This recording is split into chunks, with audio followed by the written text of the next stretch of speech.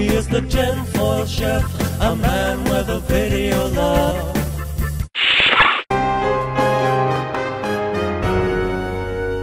Hey y'all, how's it going? Well, another day, another video. Anyway, I'm going to start right off with the answer to the question that I asked in yesterday's video with the description involved, who is the guy being talked about, and several people guessed that it was Barack Obama. And actually, no, it wasn't Barack Obama. Although it does sound an awful lot like him, doesn't it? The persons who guessed that it was Adolf Hitler was correct. That is who that bit of information was describing. Well, the reason I brought that up in the first place is because it's really interesting the parallels that can be drawn between Barack Obama and Adolf Hitler.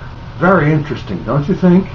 And maybe just a little bit unnerving. Anyway, got an email uh, a few days ago with a really good picture in it. The subject line, the mother of all signs. And here it is. Kind of speaks for itself, don't you think?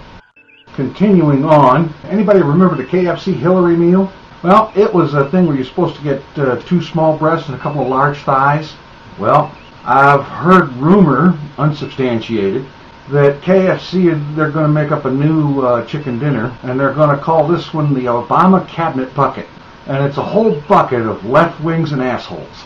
In other news, it has finally been revealed what is the real reason that the powers that be don't want you to put the Ten Commandments in government buildings and courthouses and stuff. And that's because you can't put things like, thou shalt not steal, thou shalt not commit adultery, thou shalt not lie in a building full of lawyers, judges, and politicians because it creates a hostile work environment.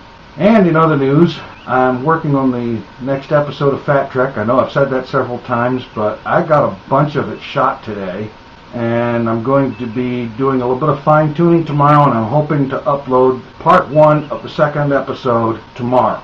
These episodes, if you take all the parts and put them together, they're going to be 8 or 15 minute episodes. I don't know exactly how long they're going to be, but I've decided to break them into 3 or 4 minute parts to keep them from getting too long because everybody on YouTube knows there's a lot of people that won't bother to look at something if it's more than three or four minutes long.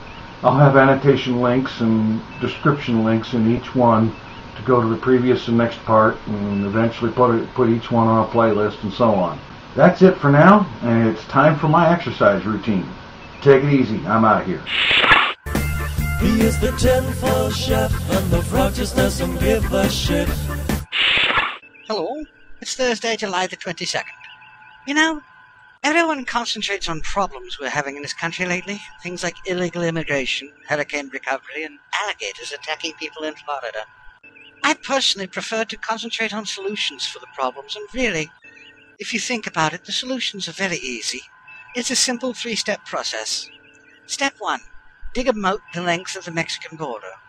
Step 2 Send the dirt to New Orleans to raise the level of the levees. Step 3. Put the Florida alligators in the moat along the Mexican border. Now, are there any other problems you would like me to solve? There is one new subscriber, Russian Festival. Welcome and thank you very much for subscribing. The previous question of the day, and I honestly have no idea what the fool was thinking when he wrote this one. Has anyone ever performed brain surgery on you with a hammer?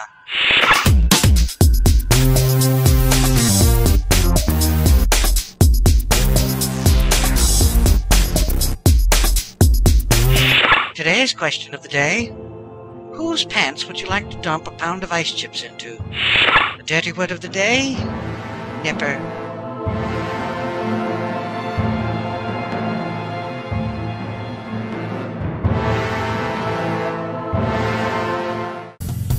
The tinfoil chef,